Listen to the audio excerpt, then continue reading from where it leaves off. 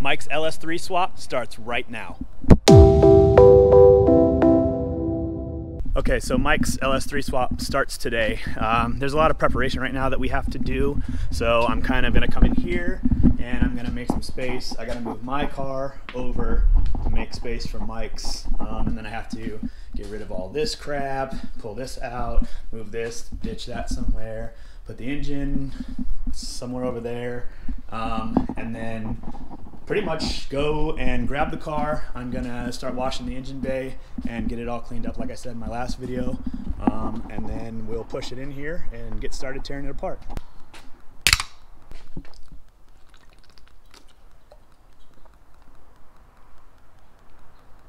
It's gonna be a long night.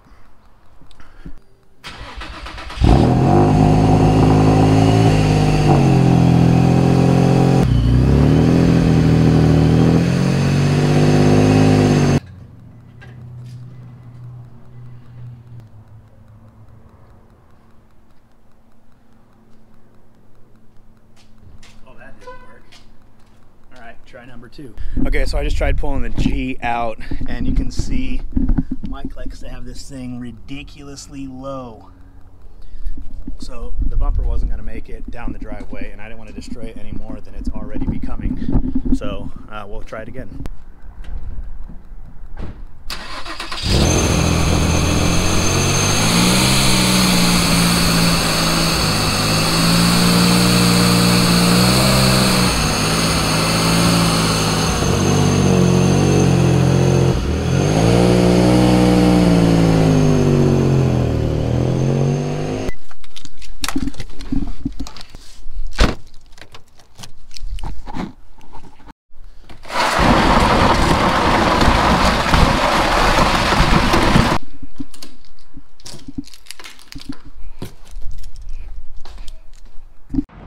All right, camera issues, but they're solved.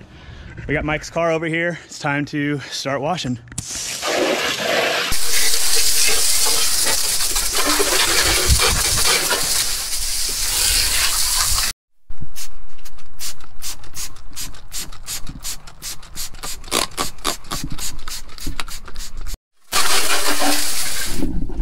Okay, so that should do it. The engine bay's pretty clean. I'll use a towel and get some of the finer details in there, but overall, it's pretty clean. There's no more debris, no more oil and stuff um, all over the engine bay. So it's about ready to be pushed into the garage. I'm just waiting on Mike. I can't do it myself.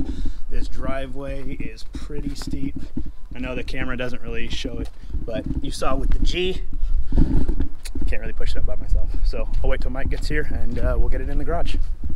This ain't been this dirty since it was at Twinkie Body Shop. Look, look, camera wars. Now, now we're doing things. I don't know, man. My mic's better than yours though. Yours is. Hey, You know, I'm gonna have to I'm gonna have to put you on with this little this little dinker mic right here. yeah, so you can see that's what that one looks like. That's what Mike's looks like. All right, enough. Well, in order for them to see that, they gotta they gotta, you gotta Watch go both. to My video, you gotta go to his video, look at his mic. My See? mic is better. You can I'm, I already know. well, your mic probably is better.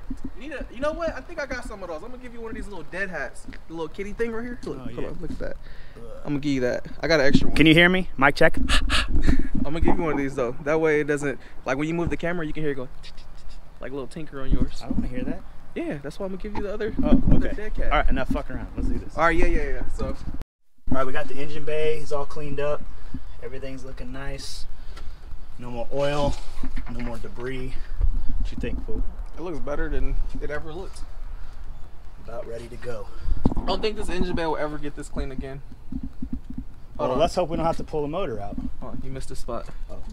Here, give me a, give me right here. That way, it look like I'm like doing some, Yeah, this some is work. one percent of work that Mike's gonna be doing. This is his dirty. Watch, look Oh. at uh, his finger. Woo! Man. Hold on, right here. Woo! If you guys watch Mike's video, you'll see that I was just in the engine bay. That's the kind of friend I am. Hey, nah. I actually, you see this hoodie? I came, I came prepared to work today. Yeah, and his jammies. Look at this. You see these whooped ass Jordans? They all yellow. That's how you know I don't care about these. they all corroded. All right, it's about ready to go down though. All right, we're switching cameras now. Yeah. I got, well, I didn't get the car. More like Mike and two other people got the car. Yeah, your ass is sitting in the driver's seat. Yeah, see, he's worn out. He thought both of us could get it. So it's up here now. I had, I Driveway's clear. I had more faith in my in my quads than than I thought. right. And like Mike pointed out, my car runs, so I pretty much have a whole garage to be able to do this. But you didn't tell him what just happened though. This fool had his car right next to mine, little tiny space, and we both reaching in trying to Yeah. trying to get the uh, the hood latch and shit. To, to be fair, my car hasn't ran in what a year. Well, actually, it ran, but it blew up after two times. So, so it really hasn't ran for like a year. So I was used to my car being parked here right next to Mike's because his is, is always in here too, and broken. Yeah, but we're trying to fix that. So I got the smart idea that hey, my car runs now. So we have it parked out here. Maybe you should move the car so we can get into space. It's time to get started. Okay, Mike's moving the engine in here. But to kind of show you, right now all we have to do is pretty much pull the front clip off. You can see I have the bolts pretty much taken out, so it's only going to take a couple minutes to get the whole front clip off.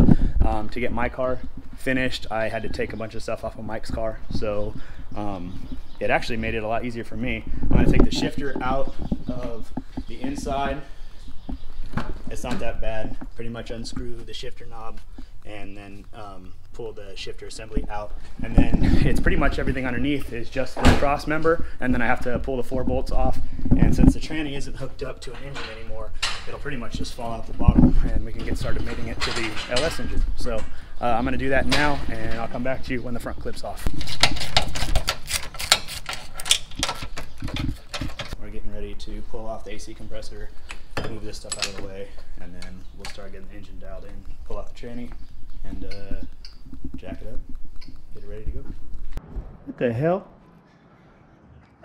This shit is retarded. You got it sideways. Well, I know I do now. Turn it the regular way. I'm trying to turn it the regular way. If it's, if it's sideways. Okay, so I don't know No, what. cut it cut it off and then then then redo it. Whatever. Not worst case scenario, just just. I'm gonna turn it around. post. Yeah, uh, when I put it in Premiere, I'll turn it around. So right now it looks kind of weird. I don't know what's going on with my GoPro, but we got it up. It's up on jack stands, ready to go. I'm gonna get under this thing and pull the tranny out, and then we'll get started mating it to the new LS engine. Okay, kind of got sidetracked a little bit. We got the transmission out. You can see that the engine bay is completely empty. Right now we're working on putting the mounts on the side. So I'm just gonna take off the factory ones and I don't even know where the other ones are at. Man, one of those boxes. They're over here somewhere. We'll find it. Oh, there it goes. ISR. So, about to put these on. So, I'm gonna work on that right now and get it started. The other thing too, the mounts, the way the ISR ones work, is these actually mount to the subframe. And then the other ones that I just showed you actually mount to the block. And then it'll pretty much sit in just like that. So, about to get that started now.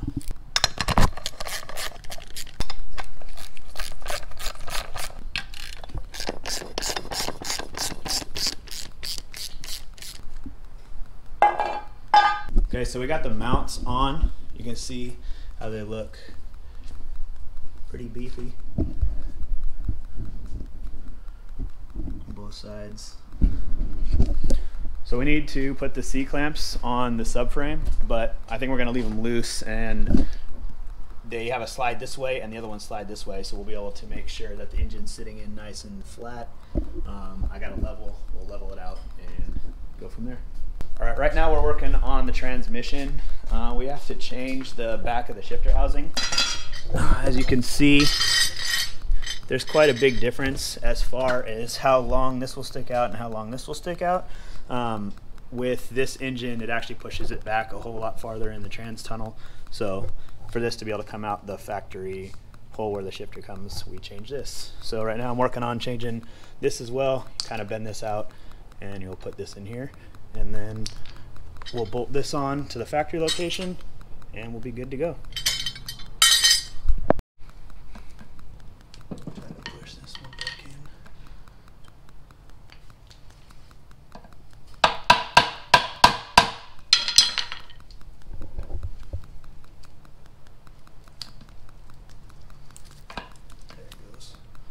So just like that, then I'll squeeze these back together. Put this one on here, and it will be good to go. Just sit right over top. like it never happened. You can see we have the shifter part all on, installed, machined. It's a really well built part. LOJ killed it with this one. Um, Mike has the ISR one, but we went with this because it just looks so damn good. And I used it on my car, so I know that it runs great.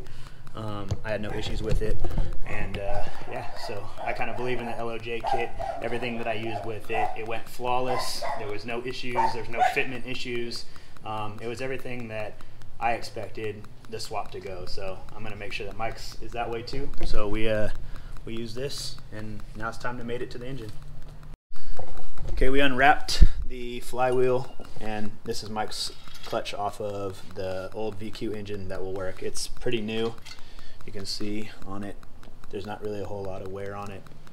Six puck it'll be a good clutch for it. And then here's the ISR plate that we're gonna be doing. We gotta figure out which bolts go to it, but it's a really well done piece. I don't know if you saw Mike's vlog on the LOJ versus the ISR kit, but this plate in general, I actually like this one better because it has this block off right here. Um, I don't know. Go watch his vlog. You'll see everything about it. But we're gonna use this. We're gonna mate it up to the engine right now. It's pretty self-explanatory. So I need to go get the engine uh, hoist, and then we'll mount it up and uh, show you the progress. Let's do this. Damn, my battery on here is almost dead. Put that shit on the charger in No. between time, in the meantime. Yep.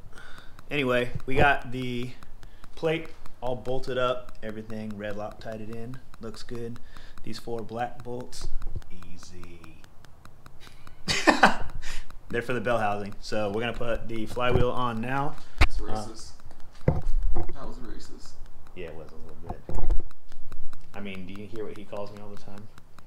That's different though. Oh yeah, yeah. It's only a one-way street. I'm part white, so I can say like racist remarks towards like your white side because I'm part white. But Oh, you don't oh. have no black in you, so it's not it's not racist if you if you fit both uh, both categories. See? Yeah. See- Whatever. see Hey, that you know works? what? We're not here to talk about racial slurs and racial comments. We're gonna put this on and we're gonna get it If bolted they up. if they only knew all the shit we talk off camera. Word.